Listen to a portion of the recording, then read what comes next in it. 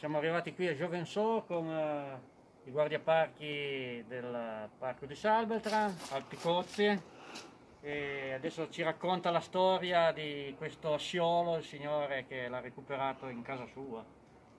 Racconta tutta Raccontaci com'è andata. Sì, io mi chiamo Stefano Ponza, siamo qua a Giovansò e abbiamo incominciato a sentire dei rumori all'interno della canna fumaria. Insomma, abbiamo chiamato l'amministratore del condominio che ha portato le persone per cercare di salvarlo. Durante il salvataggio l'assiolo è saltato all'interno dell'intercapedine del, del muro e noi l'abbiamo sentito grattare il muro per due giorni.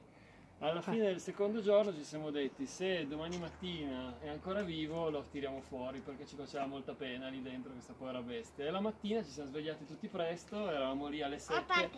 A parte tu, è vero. Alle 7 ci siamo svegliati e abbiamo iniziato a bucare il muro perché l'abbiamo sentito e effettivamente l'abbiamo ritrovato abbastanza facilmente perché era finito in fondo a questa intercapedine e di lì non poteva più muoversi e quindi gli abbiamo salvato la vita. Grazie, avete fatto una bella cosa e adesso noi lo liberiamo di nuovo perché è un adulto e quindi era solo questione di liberarlo dal brutto posto dove si era cacciato. Grazie alla vostra sensibilità.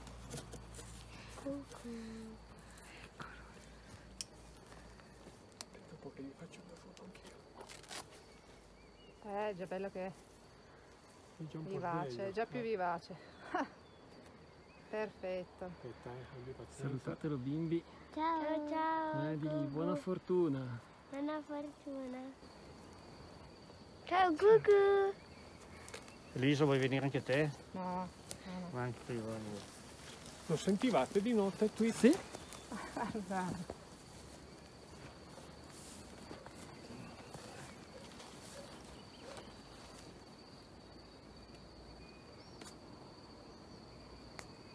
Voilà.